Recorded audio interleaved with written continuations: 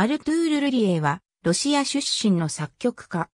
1920年代には、名実ともに、ソ連楽団における指導的作曲家の一人として、スクラービンゴの前衛音楽の可能性を追求した。後に、ドイツ、フランス、アメリカ合衆国へと亡命し、ストラビンスキーの影響のもとに新古典主義音楽の信奉者となった。フランス時代にカトリックに帰依し、後半生にはアルテュール・ルリエと名乗った。代表作であり、早々期のグラフィックスコアの一つと呼ばれる大気の形フォームズ ENL エアーがパブロ・ピカソに検定されているように、ルリエは同時代の美術に通行しており、改修後のミドルネーム、バンさんは、ゴッホの洗礼名にちなんでいる。1892年5月14日に、ペテルブルクにおいて、セファルディ系ユダヤ人の富豪の家庭に生まれる。音楽はほとんど独学であったが、ペテルブルク音楽院に入学して、ピアノ、バリノバに作曲をグラズノフに指示し、1913年に卒業。未来派の詩人グループと親交を持ち、とりわけ、アンナ・アフマートバの詩に好んで作曲した。ルリエの最初の歌曲もアフマートバの詩に曲付けされた。他に、マヤコフスキー、ニコライ・クルビン、ヒョードル・ソログープ、アレクサンドル・ブロークらとも交流して、同時代の諸芸術に深く影響された。1908年以降に作曲された初期作品はスクラービンの後期様式に習っていたが、やがて新たな種類の処方を発展させ、1914年にピアノ曲、合成、シンテシーズにおいて一種の12音技法にたどり着き、1915年の大気の形において新しい寄付法が試みられている。小説線やブレースによって連結されない様々な符表がページの中にそれぞれ独立した塊として点在し、かなり長めの休止がある場合には、全休符の代わりに空白が利用されている。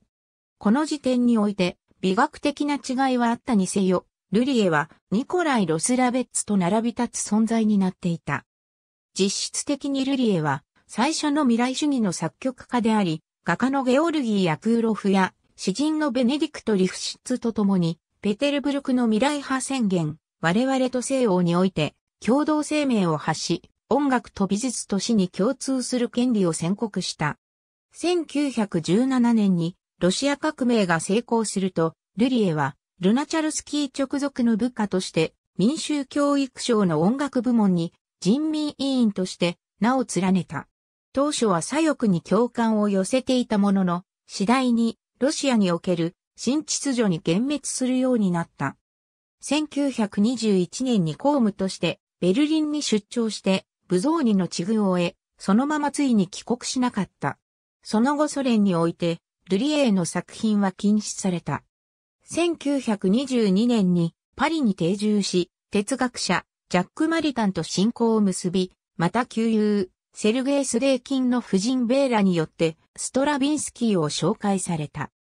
ルリエは1924年から1931年までストラビンスキーの最も重要な擁護者の一人となり、しばしばストラビンスキー宅に寄食して、その作品のピアノ譜を作成したり、ストラビンスキーに関する論文を執筆した。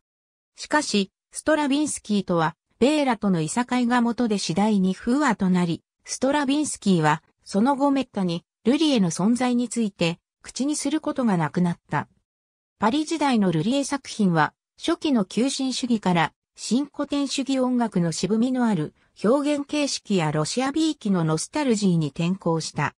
同時期のストラビンスキーとの交渉の結果は歴然としており、ある程度まではルリエがストラビンスキーに影響を与えたかもしれない。ルリエの消失な音楽は、ストラビンスキーのミューズを率いるアポロンを合唱とピアノ、還元楽のための霊的競争曲コンチェルトスピリチュアレは、ストラビンスキーの詩編交響曲を予言している。ルリエはこの他に、二つの交響曲や歌劇、国死病の時代の共演を作曲している。